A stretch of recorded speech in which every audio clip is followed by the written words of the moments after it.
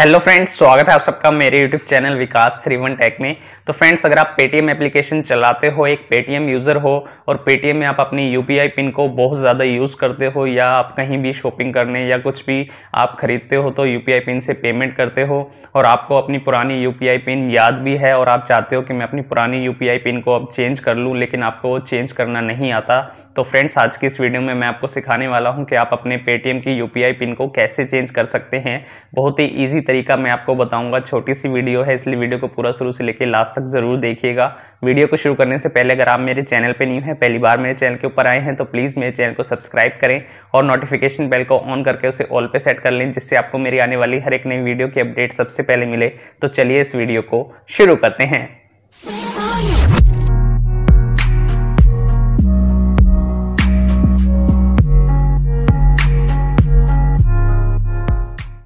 तो फ्रेंड्स हम आ चुके हैं अपने मोबाइल फ़ोन की स्क्रीन के ऊपर, जैसे कि आप लोग यहाँ पे देख सकते हैं। तो यहाँ पे हमें सबसे पहले पेटीएम के एप्लीकेशन को ओपन कर लेना है और आपको अपनी पेटीएम यूपीआई पिन को चेंज करने के लिए क्या करना है, ध्यान से इस वीडियो को देखना है। यहाँ पे आपको टॉप लेफ़्ट में अपनी प्रोफ़ाइल का जो आइकन है उस पर क्लिक करना है।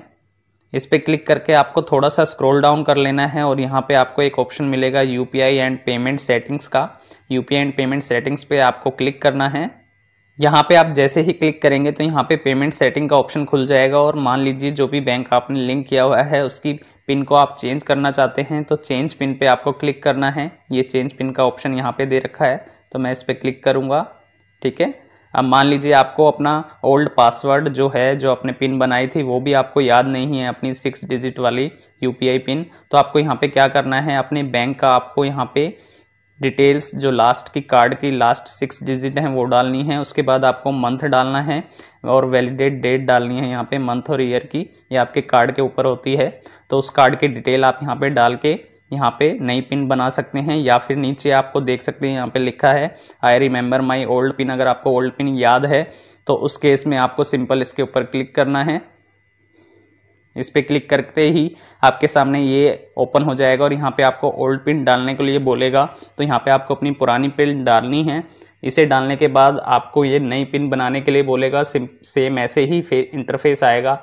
तो उसमें आपको नई पिन बना के, ठीक है? जैसे आप नई पिन डाल के सबमिट करेंगे तो आपकी जो पेटीएम की यूपीआई पिन है वो चेंज हो जाएगी, ठीक है? आपके बैंक की जो भी लिंक किया हुआ है आपने, इस तरीके से आप अपने बैंक की जो पेटीएम में यूपीआई पिन को आप चेंज कर सकते हैं। इजली मैं आपको करके नहीं दिखा रहा, पर मैंने आपको बता दिया कि आपको किस तरीके से करनी है।